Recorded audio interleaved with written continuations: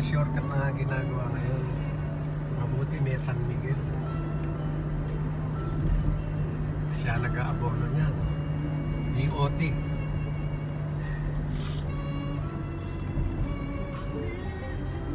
yan yung recapture na tinatawag sa appraisal recapture.